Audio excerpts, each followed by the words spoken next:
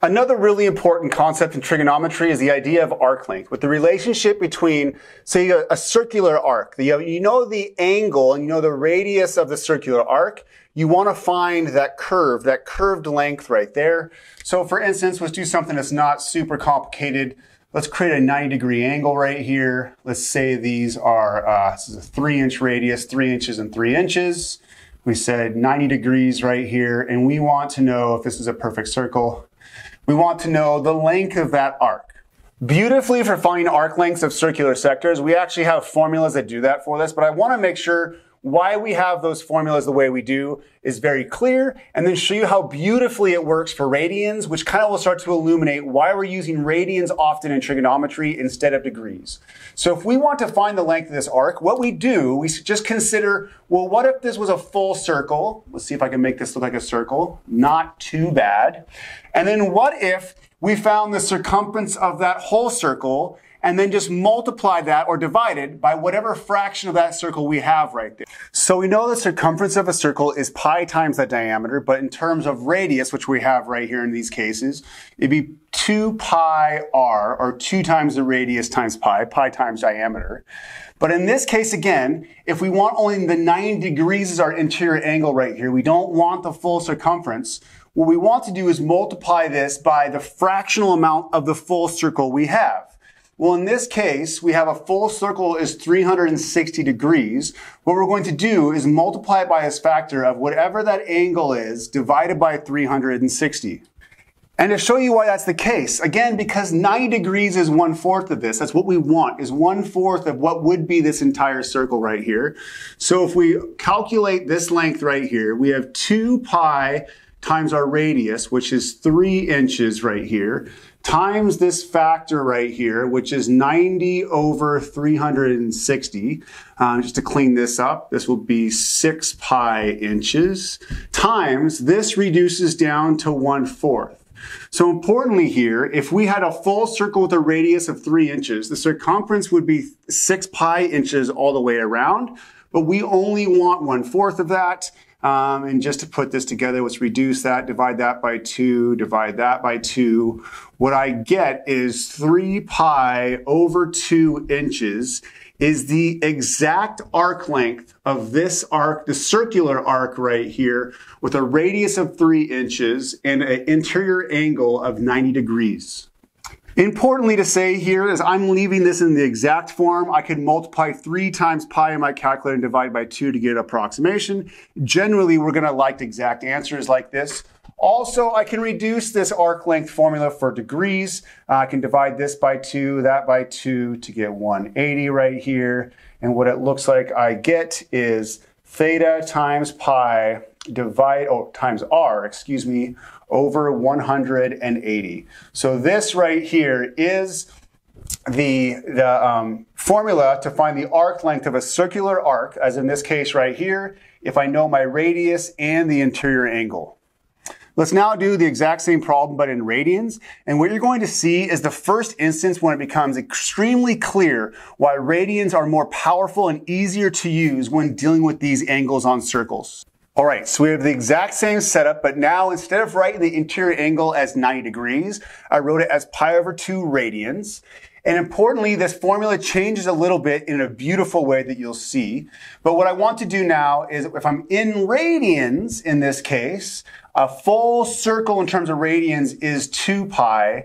And so what I'll do is I'll take that interior angle in terms of radians and divide it by 2 pi to get that fractional piece right there. But now instead of actually do, finding the length and then going back and simplifying this, I want to simplify this now because it becomes awesomely simple. If you'll see in this case, we have these factors of 2 pi in this formula and in this fractional piece right here because this is the fractional piece of the full circle. This arc length formula reduces down to the radius times the angle right here. Again, before we move forward, compare that to the formula we ended up with with degrees. In degrees, we had the angle times pi times the radius divided by this factor of 180.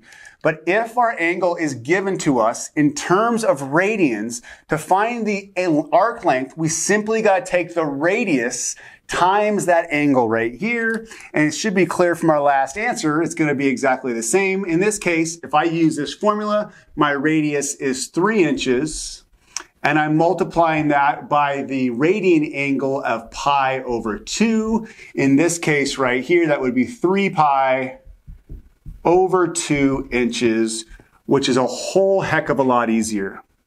I know I've already said this a few times, but I want to again just emphasize at this point is as we move forward in trigonometry, while we still will use degrees a bit as we move forward, our main focus is going to be working with this radian measure.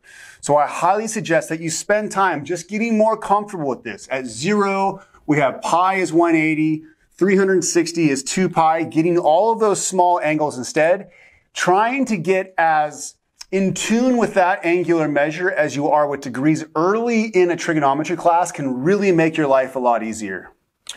All right, so now for what I think is the most important concept as the foundation for trigonometry, the idea of similar triangles. What I have here isn't the rigorous definition of similar triangles, but it's the one that we need to build the trig functions that we're going to very soon. Importantly here, two triangles are similar if their angle measures are the same. So we have two different triangles right here, one that's completed with all the angles and all the side measures.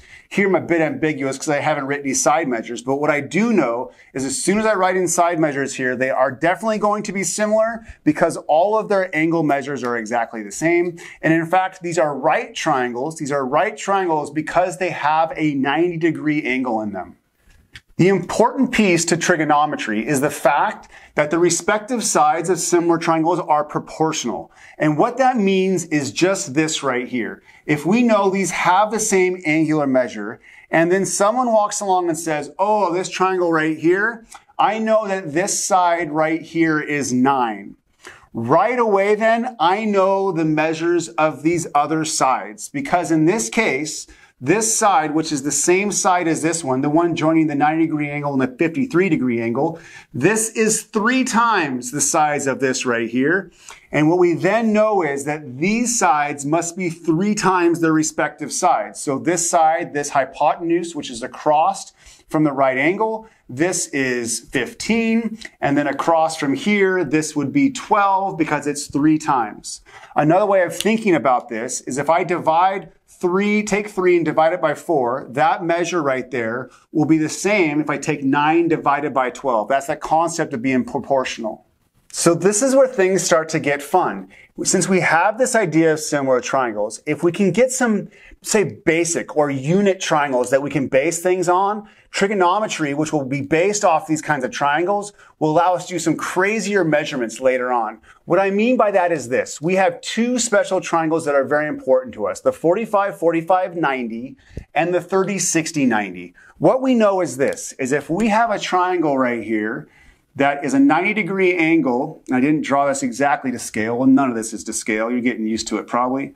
If this is a 45 degree angle and this is a 45 degree angle right here, and that's a 90 degree angle, what I know is that the triangle exists of this type would be have side lengths of one right here, and then using the Pythagorean theorem, I would get the square root of two.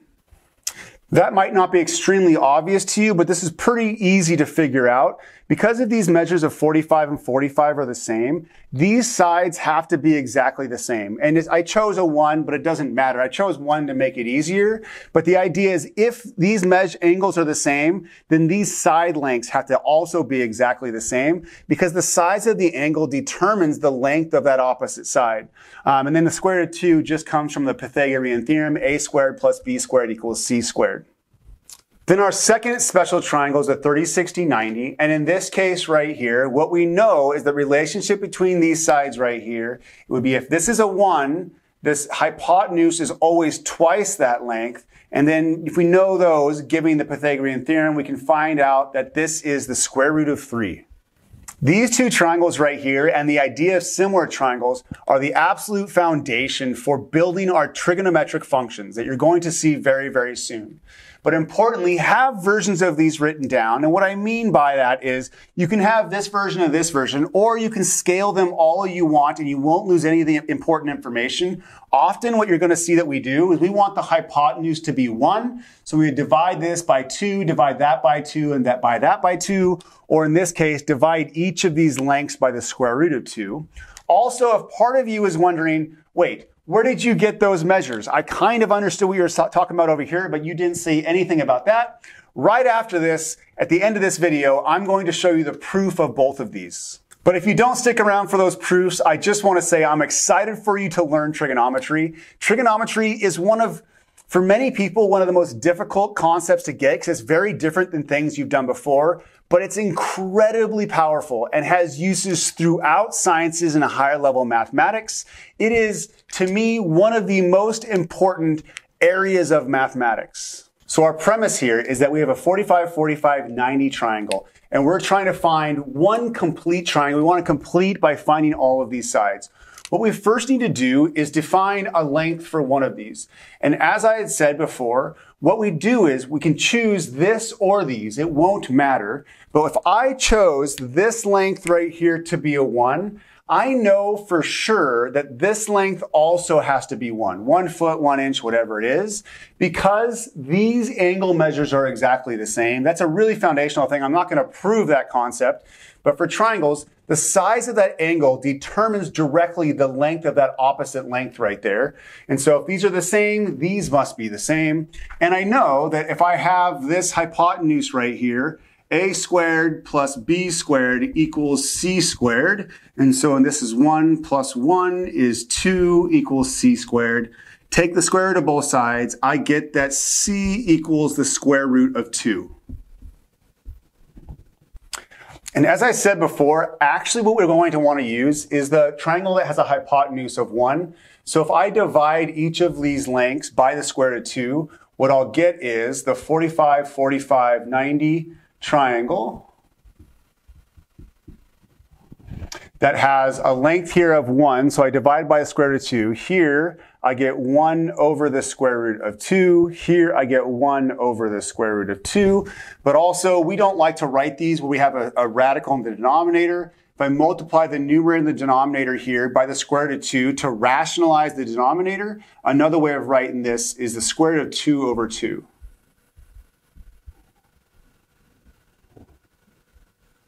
All right, so we've defended the 45, 45, 90 degree triangle that has a hypotenuse of one. Let's now talk about the 30, 60, 90. This is not quite as easy. I'm gonna go fairly quickly through this, but if you need more details, there's a ton of resources on the internet that discuss this more. So again, what I'm looking for is this base version of a 30, 60, 90 that I can use then with this similar triangles reason, reasoning anytime I have another 30, 60, 90 degree triangle. Well, in this case right here, um, I want to define one of these lengths. I'm going to define this hypotenuse as two. Again, it doesn't matter what I use because I can change the scale. You'll see why I'm using two in one second. It's going to make my life a little bit easier as I develop this proof. So the question becomes, is what are these? And I'll just call these A and B right here, these lengths. So if I have this as two, um, what I'm going to do is actually superimpose a second exactly the same triangle. So this same triangle right here, I'm going to flip it, reflect it, and write a version of it right here. And let's see if I can make this look as accurate as possible. So this will have the same measure. This right here is 60, and this one right here is 30 as before. This length is the same. So what can I reason from this? Well, beautifully, since 30 degrees is half of 60, if you look at this entire triangle, what this is now is an equilateral triangle, meaning I have a 60, 60, and 60 degree angles on this triangle. If I know this is an equilateral triangle where all of the angles are the same, that also means, like I used over here, that all of the side lengths are the same. So that's two, that's two, and then this length right here must also be two. Well, if that whole length is two, I know that these are identical and split this down the middle. So that means the value of B here is one. Again, that was ultra quick, but again, what I did, I had a, my 30, 60, 90, I put exactly the same 30, 60, 90 next to it, realized the whole thing is an equilateral triangle because they're all 60 degree angles, meaning every side length must be exactly the same. It's easy then to reason that these are the same because I took the exactly the same triangle and flipped it over. That length and that length must be identical. So the length of B has to be half of that side length of 2, which is, by the way, why I use 2. It's like easy to cut it in half, right?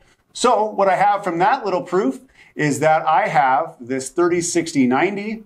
So it's 90. This one is the 60. This one is the 30. I know across from the 30, I have a length of 1. This hypotenuse, as I defined, is 2. So this is 1 when that is 2.